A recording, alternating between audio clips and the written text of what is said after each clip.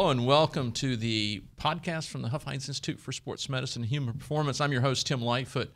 Thank you for joining us today. And every week we work to bring someone who is an interesting personality, an interesting person in the world of sports medicine, human performance, and a variety of other sports related topics. And this week certainly is no exception. We have a return guest this week from one of our earlier audio podcasts. Uh, welcome to the podcast, Tanna.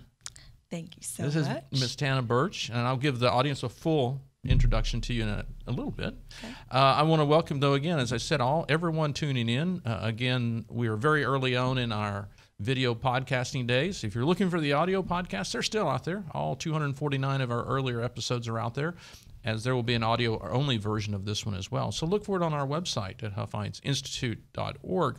Uh, again, to our guest today, uh, we have uh, Ms. Tanna Burge with us today, who is the Assistant Athletic Director of Sports Performance at Texas A&M University. Um, she has a degree from Baylor in the past, has had a large amount of experience in the field um, uh, in the past. Uh, she has worked at the uh, University of North Carolina. She has worked at Clemson. She has worked at um, West Point. Um, and she is our assistant athletic director for sports performance, which basically means Northwestern. that at Northwestern. Excuse Don't, me. No, also Northwestern. Don't leave one out. And cut that. Go back. oh, can't forget. Yes, and let's don't forget Northwestern mm-hmm. in there. Um, and her role here at Texas A&M, she's basically director of, of strength and conditioning for all the sports except football. That's correct. And um, has personally overseen this past season women's basketball. Yep. Worked in the past with swimming and diving. And, and so, men's tennis. And men's tennis. Bit. We can't forget men's tennis.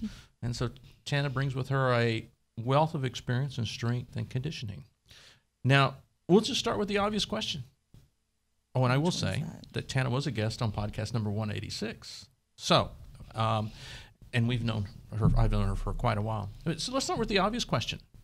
Um, and I think it's unfortunate. It's an unfortunate stereotype of our world. Mm-hmm. But most people, when we talk about directors of strength and conditioning, they they don't expect a woman. Nope. Most don't. Most don't. Uh, so so let's talk about that. How, what has that been like to be the uh, be a female and be director of sports and conditioning at a major university like this? Have you had any resistance or?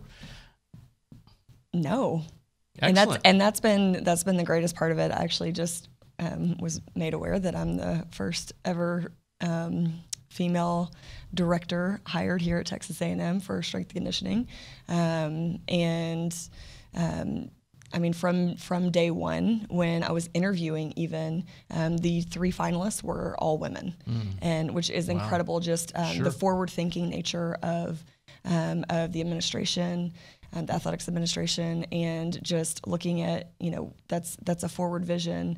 Um, not not to say that there weren't qualified males, right. absolutely. But to say that the the three finalists for this position were all females, and um, and you know I was the fortunate one to be selected, and ever since then it's been um, just full steam ahead. We've had I've had such great support from the administration, from all of the coaches, from all of the staff, and you know we continue to evolve and grow. Mm-hmm. Um, the the field of strength and conditioning is is exploding within the last you know five years, um, and I just I think this is just an additional part of it where you're seeing um, some non-traditional moves being made in in leadership and in um, just how we're progressing forward. And that's what I was going to ask you. Do you see this trend actually happening around the country? This is not just a Texas A&M trend. This is happening around the country as well. it, it is, and there's, um, you know, there's there's discussion in a lot of different areas um, with strength conditioning. I mean, obviously we have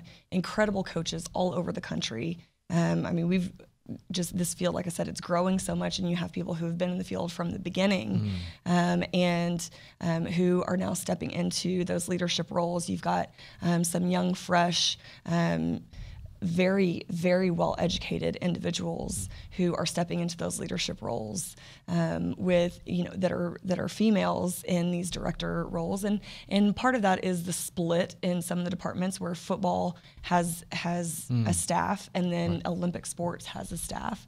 Um, obviously, still collaborating, working together, but um, that does open up a little bit more opportunity um, from you know previous stereotypes or um, just ways that things have been done in the past. And so I just I think it it shows that the world of athletics is continuing to evolve and grow. I mean, we have females who are coaching in the NFL now and NBA Sure, right. and um, and other you know major league sporting environments. And so I think it's just it's the direction that um, you know we've we've got really highly qualified individuals who happen to be females Right. who are now being um, provided with opportunity to step into these roles and that they're leading really really well Right. um, and and fostering an environment where you know female student athletes are saying that you know there's more things possible than just More um, opportunities a, than they thought. a glass Right. ceiling. So, and, and I think we talked about this previously, but actually, you haven't had any resistance from athletes either. Male athletes, they've all been very accommodating and, and accepting. And Yeah. you're the strength and conditioning coach. Let's go. Yeah, yeah, and that's and and it goes to, you know, I'm I'm coming in from the beginning, Yeah. and you know, I I share the standards, the expectations, and as as do all of our staff members, um, and it's you share standards and expectations, and if you expect excellence out of people, Right. They like they will rise up to that. And so it's this understanding of you know i'm i'm not just a female coach coming in here to to instruct you on things. I'm i'm a coach who wants the best for you and i want you to um, to function in excellence. And if that means that you hear it from a different um, tone of voice, then then so be it. And all of the athletes have been incredibly responsive and supportive, and um, and they they res- they respond really really well. Yeah. One, one of the wonderful things about sports, and maybe part of its downfall, it's all about performance. Mm-hmm. If you don't perform as a strength coach, if your teams aren't better, faster, stronger, Yep. then you're not going. It doesn't matter what you are. Yeah. So, hey, while we're at that, so this year was your first year with the women's basketball team. Mm-hmm. Yeah. What a great year because Such they got made it fun to the. Sweet Yes. 16. What were your impressions of this year? Were you Oh, surprised? Did you work with basketball in the past, or is this the first time for that team in particular?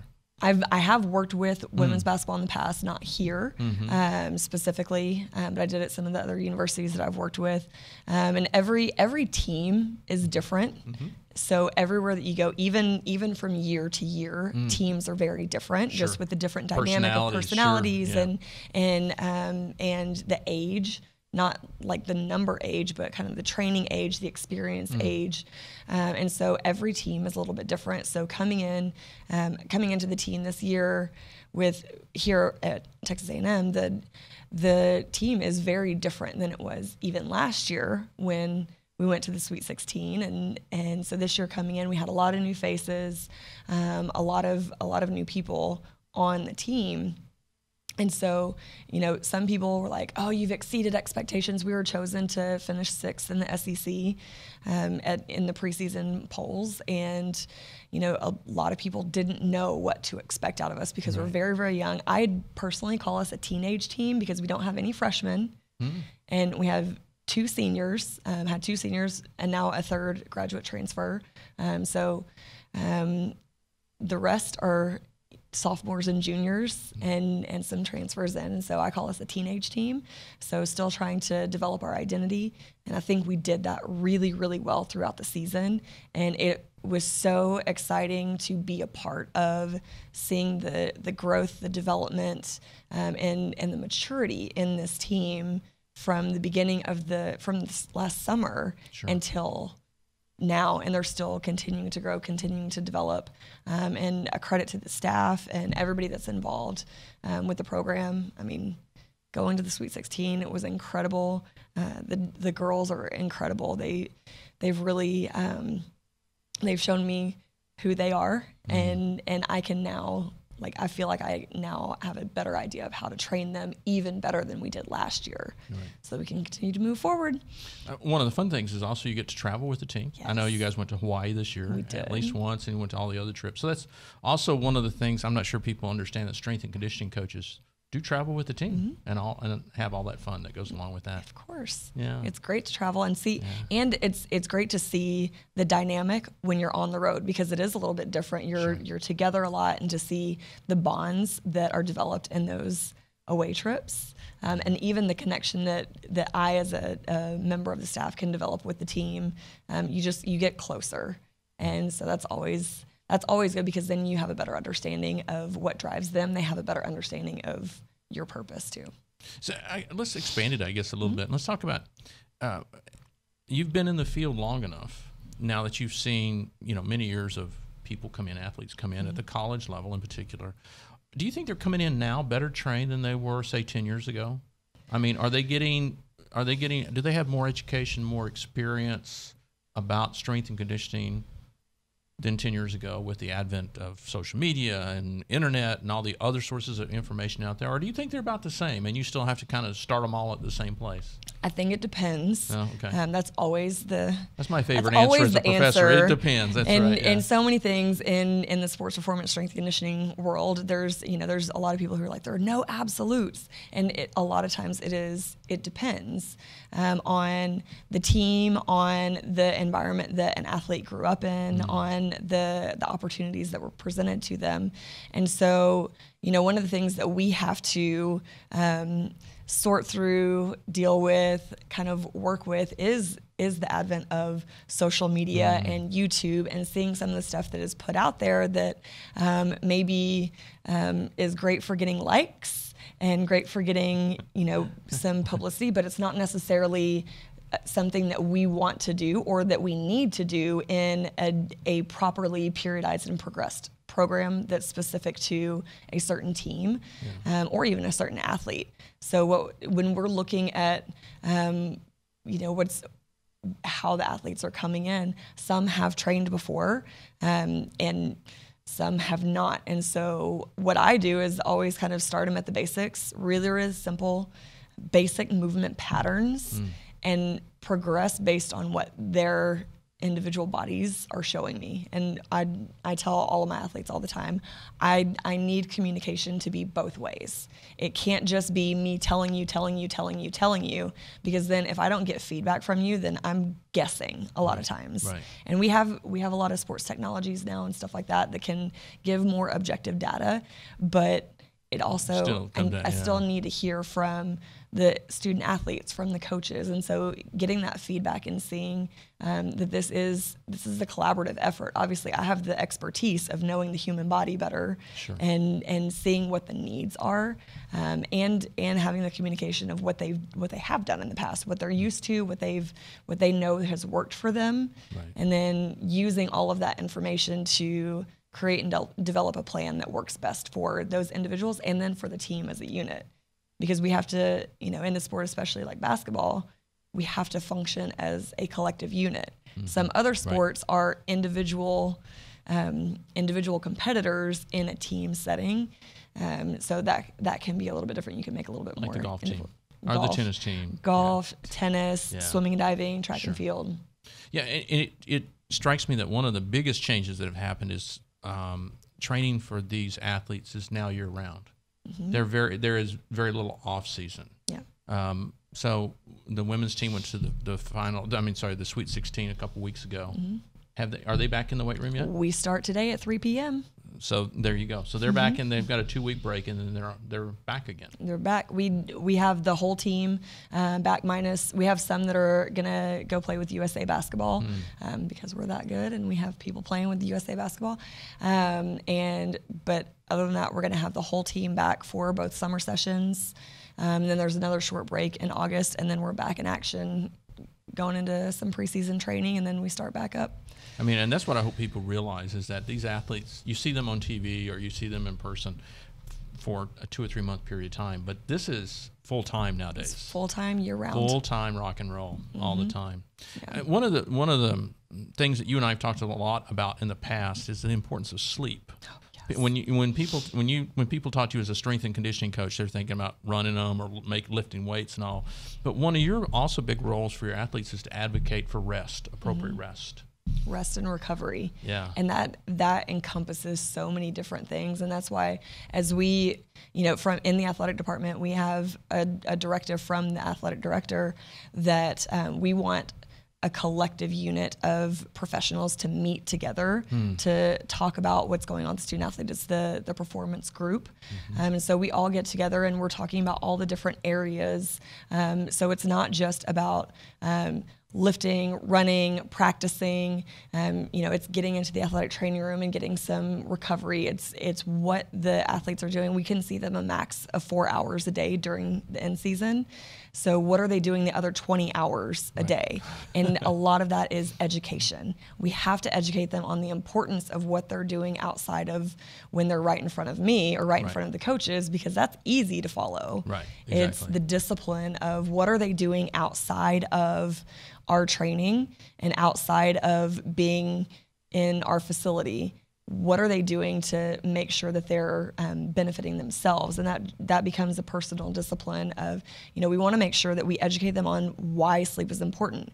Reaction time um, even mental clarity um, that's when their body can restore itself. And and you know we want to talk to them about nutrition and sleep and how we can utilize those things for proper recovery because that isn't something that's really really talked about. It's it's a kind of a hot topic in in, in the world profession right Sure. now. Yeah, yeah. and it, it does help with social media. There's a lot more like you can push out a lot more information but it's also you know we have to educate on the day to day and it can't just be like one presentation and then we never talk about it again. It's you know how are we like how are we impacting them on the day to day basis? And we can't forget that part of that 20 hours they're in class too. Yes, they're in class. They're They're- they're, they're in class, sleeping. They're they're in study hall. They're um, Yeah. you know getting to and from Right. our, our training sessions and classes. And so there's there's so much that the the collegiate student athlete has to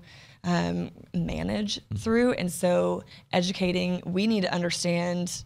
I mean, we we as professionals have to understand what their life looks like, and they also have to understand that when we're giving them this information, it's for their benefit, um, and it's it's trying to help set them up for success. That's one of the things that I talk to all of the teams that I work with about all the time. Is set yourself up for success, and these are ways that you can do that.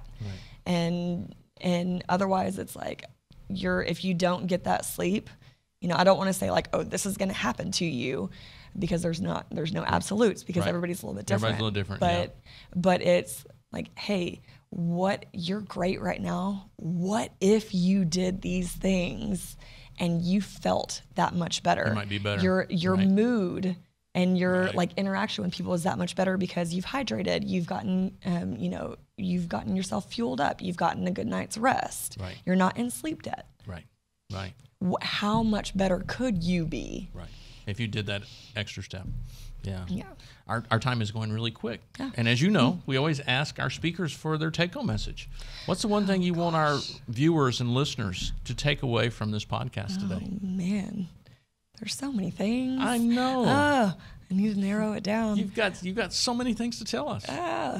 Um, I think uh, just going on the the recovery path, just right where we were, um, the importance of um, the the collective whole of how you know it whether it's people who are personally um, training themselves or who have interaction with other individuals who are trying to get um, a healthier lifestyle, healthier environment, or if they're um, coaching or um, or teaching those who are trying to um, trying to make it in the world of athletics. I think just being an educator is so huge and Right. giving good sound information. Like I said earlier, there's a lot of stuff out there. There's a lot of and stuff out the there. sifting through some of the pardon me but garbage that's out there Right. um, and and making sure that you know you're looking at and and educating from research based um, sound uh, and and practical application is actually practical uh, making sure that those are the things that we're carrying on because this this field is going to continue to grow and evolve and develop and so as much as we can stay ahead of things and educate ourselves so that we can educate others i think is just hugely important Excellent. Excellent take home message. thank you for being with us today. Thank We've enjoyed having having you back. Yeah. And thank you all for taking the time to uh, either watch or listen to us today. Uh, regular listeners and viewers will know that this is the time of the podcast when we have the podcast question of the week. Uh, and this week, the podcast question is from our producer of this segment, uh, Mr. Carlos Guevara. And the podcast question is what what nickname did Ms. Burge use for the Texas A&M women's basketball team this season.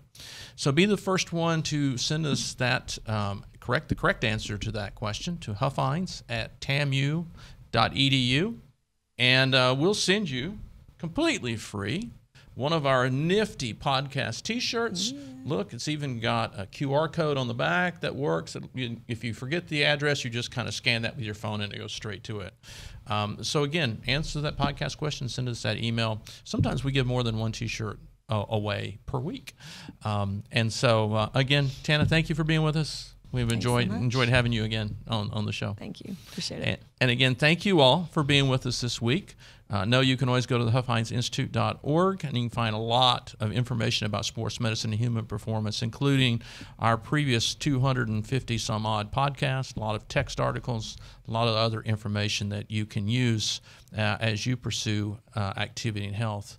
Uh, certainly, before we get out of here, we want to thank the Omar Smith Endowment, uh, the Huff Endowment for their support as well as our producer, Carlos Guevara, um, our engineer today, Dalton Hughes, and the variety of other people that you'll see in the credits that help us get this podcast out.